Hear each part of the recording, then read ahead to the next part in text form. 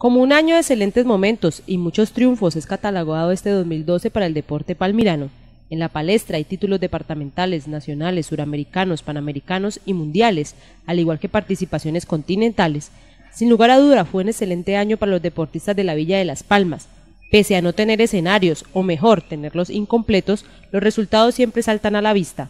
Día tras día se fortalecen más las condiciones de quienes nos representan a nivel deportivo, y si los mayas lo permiten el próximo año en Juegos Departamentales, Palmira nuevamente figurará en lo alto del podio.